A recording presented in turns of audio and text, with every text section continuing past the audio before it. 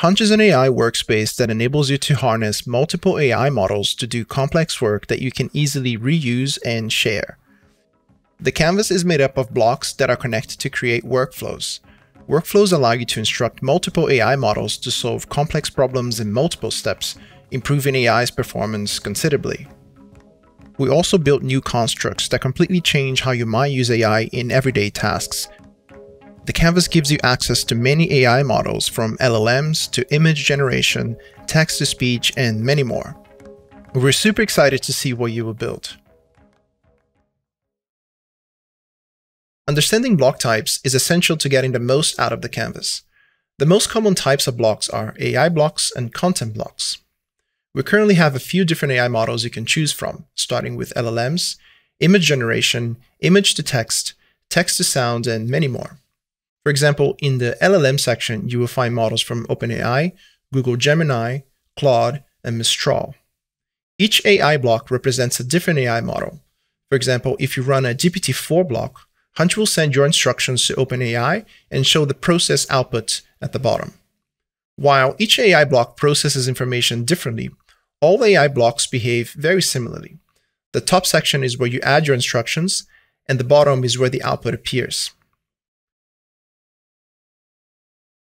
Let's add a DALL-E 3 block and generate a simple image.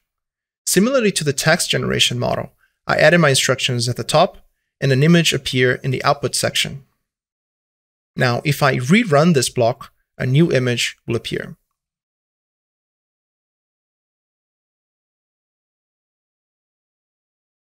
To create a better viewing experience, you can also resize blocks by clicking and dragging on the bottom right corner of a block.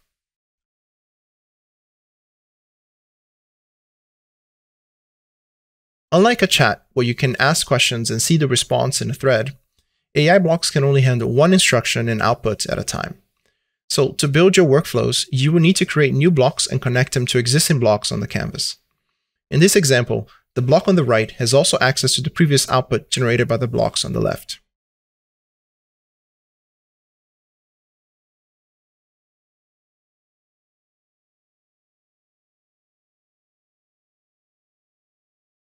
You can see a complete list of AI blocks in a few ways.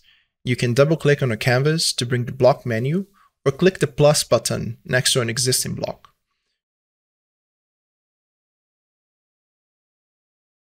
You can also click on the top left item named Blocks to open the block menu on the left.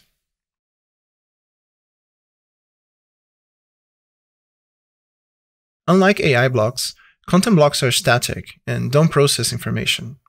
Content blocks are helpful for tasks that require a lot of context, such as company context or any additional information about the problem you're trying to solve.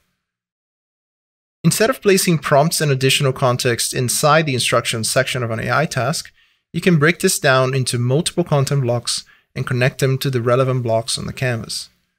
After connecting them, you can reference the block titles in your instructions to make your prompts easier to write and inspect.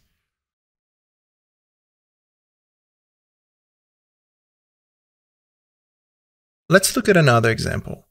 If you want to summarize an article, it's better to add it to a content block and then connect it to an AI task instead of placing both the article and prompt inside the AI block. This two-block structure allows you to easily change this information in the future without having to rewrite the block instructions. Imagine you want to summarize multiple articles using the same workflow. All you need to do is paste a new article inside the content block and the AI block will rerun and process a new article. Another benefit of keeping information in different blocks is that you can easily connect an existing block to any block on the canvas to give your AI tasks more context about your problem.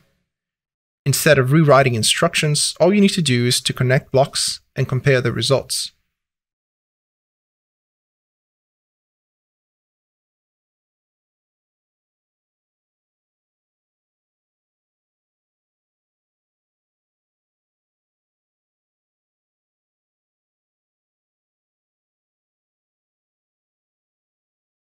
Content blocks can also help group outputs from different blocks into one block.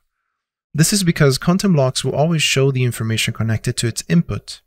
For example, if you have three AI tasks connected to the input of a content block, the content block will show all three outputs in one place as soon as they finish processing. This pattern is useful to aggregate information in one block before sending it to a new block. In this example, I'm grouping the output of four AI tasks in one content block before sending it to a text-to-speech model. Gravity is one of the four fundamental forces of nature, alongside the electromagnetic force, the strong nuclear force, and the weak nuclear force. You can also edit what's inside a content block. Say you want to delete a few sentences or add comments to a previous output. You can double-click on a content block to trigger edit mode. After finishing your edits, you can deselect the block by clicking on a canvas. One thing to remember is that content blocks receiving information from other blocks will erase your edits once the previous block has a new output. If you want to protect your edits, removing connections or duplicating a block is necessary. To duplicate a block, you can go to the menu and click on Duplicate Block.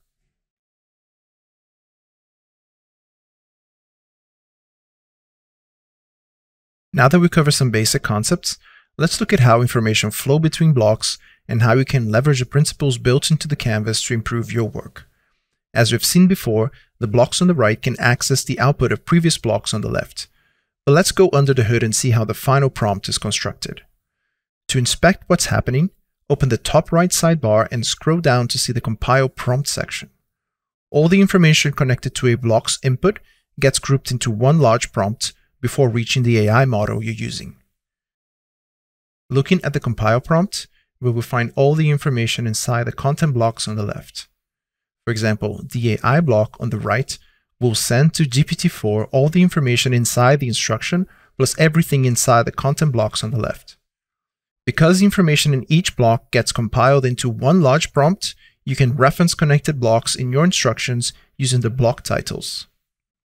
For example, the instructions inside this GPT-4 block reference the blocks connected to its inputs, so even if the content is outside of the block, GPT-4 will be able to understand my instructions.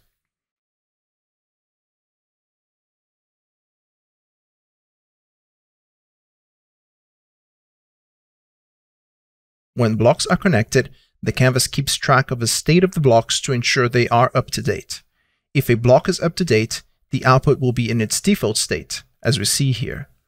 The output will look slightly dim if the content is old and no longer valid. In this case, you need to rerun the block to update the output. Let's look at another example. Imagine you instructed a DALL-E 3 block to create an image. If you change the instructions, the output's opacity will change. This happens because the image no longer matches the instructions at the top.